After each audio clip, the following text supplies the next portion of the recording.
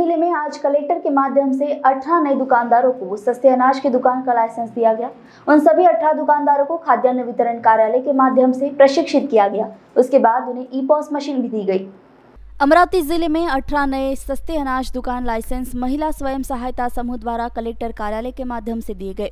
उन सभी महिला स्वयं सहायता समूहों की प्रमुखों को आज खाद्य एवं अनाज वितरण कार्यालय द्वारा समुचित प्रशिक्षण दिया गया।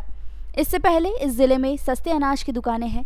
उन सभी सस्ते अनाज की दुकानों में लाभार्थियों को खाद्यान्न का वितरण ई पॉस मशीन के माध्यम से किया गया है।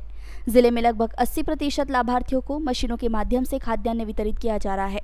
सस्ते खाद्यान्न की वितरण प्रणाली को अधिक पारदर्शी और मज़बूत बनाने के लिए ये व्यवस्था लागू की गई है।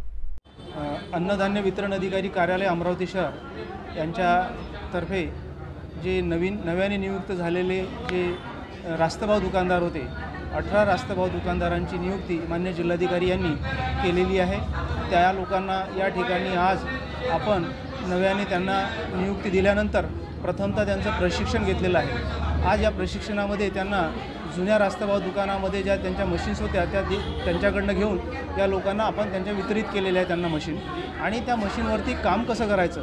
आणि त्या मशीन ऑपरेट कशा करायच्या त्यामध्ये ते जे आपले जे कार्डधारक आहेत त्यांना धान्य कसं वाटप करायचं यासाठीचं वि विस्तृत प्रशिक्षण या ठिकाणी त्यांना दिलेलं आहे. त्या प्रशिक्षणामधून ते आज प्रशिक्षित झाले आहे आणि आता पुढचं जे वाटप करते करतील आपल्या दुकानांमधून ते चांगल्या पद्धतीने करू शकतील अशी मी त्यांना त्यांना शुभेच्छा दिल्या आहेत आणि ते चांगले काम करतील अशी पण आपल्याला अपेक्षा आहे.